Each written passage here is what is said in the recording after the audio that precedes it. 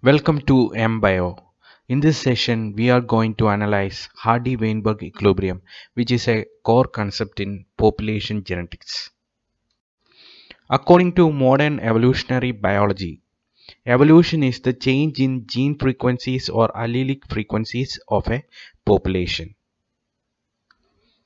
So, if we want to analyze whether a population is undergoing evolution or not, we must first calculate the allelic frequencies or gene frequencies. So in order to assess the evolutionary transformations of populations through the estimation of allelic frequencies, in 1908 two famous scientists Hardy and Weinberg proposed a concept called Hardy-Weinberg equilibrium. This particular concept laid the foundation stone for the modern evolutionary biology. So it is considered as a key point or key concept in population genetics and also in evolutionary biology. Now let us analyze the definition for Hardy-Weinberg equilibrium. According to this concept, the allelic frequencies of various genes in a large population will remain constant if mating is at random and in the absence of mutation, natural selection, genetic drift, gene flow, etc. Now let us analyze the definition of Hardy-Weinberg equilibrium. The definition says that the allelic frequencies remain constant if certain conditions are fulfilled. First condition, the population must be a large population. So it is applicable only to large population. Second condition, mating should be random. The mating should be random mating, which means there will be no mating choices or biases in the population regarding mating. Mechanisms that uh, disturbs random mating such as sexual selection must not occur. The third condition which is essential for the uh, maintenance of uh, consistency in allelic frequencies of a population is the absence of disturbing factors such as mutation, natural selection, genetic drift, gene flow, etc. These factors are considered as the elemental forces of evolution. If these factors occur within a population, then the population uh, must undergo evolution. The allelic frequencies of that population must change.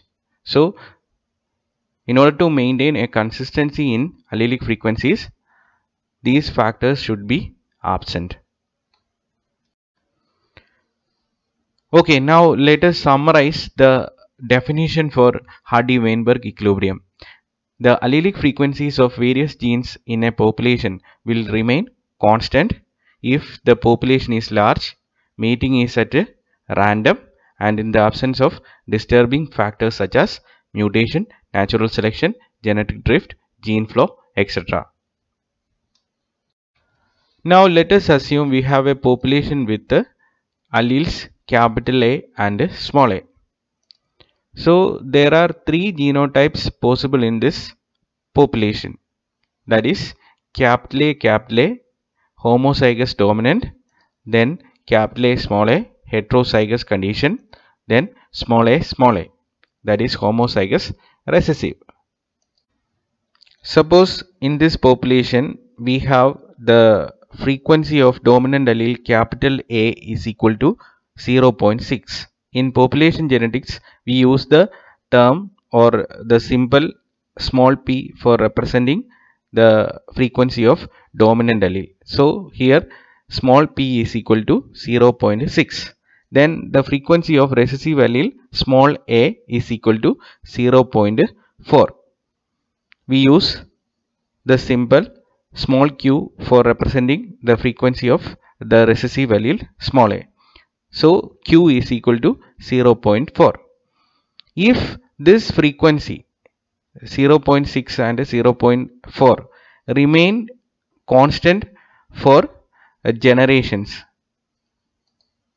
if after 10 generations still the allele frequency remain the same then we can say that this particular population follows Hardy-Weinberg equilibrium which means that evolution is not occurring in this particular population. The disturbing factors for Hardy-Weinberg equilibrium are mutation, genetic drift, natural selection, gene flow, etc. These factors are responsible for causing variations in the population. So, in this particular population, there is no variation. Now once again uh, let us consider the same population with the dominant allele frequency small p is equal to 0.6 and a recessive allele frequency small q is equal to 0.4. Suppose we are going to estimate the allelic frequencies of this population after 10 generations and we get the frequency of dominant allele P as 0.3 and the frequency of recessive allele Q as 0.7. So based on this data we can say that in this population uh, there is a shift in allelic frequencies. There is a change in allelic frequencies after 10 generations or in other words the population is not following Hardy-Weinberg equilibrium. When the population is not following Hardy-Weinberg equilibrium, evolution is occurring in that population. Disturbing factors of Hardy-Weinberg equilibrium such as non-random mating, mutation, natural selection, gene flow, etc. are occurring in that population. It does not mean that all these factors are occurring together. Might a single factor or combinations of these factors are responsible for the change in allelic frequencies. So in summary, Hardy-Weinberg principle is used to determine whether evolutionary transformations are occurring in a population based on allelic frequencies. When a population is in Hardy-Weinberg equilibrium, the net evolutionary change will be zero. There are two equations associated with the Hardy-Weinberg principle.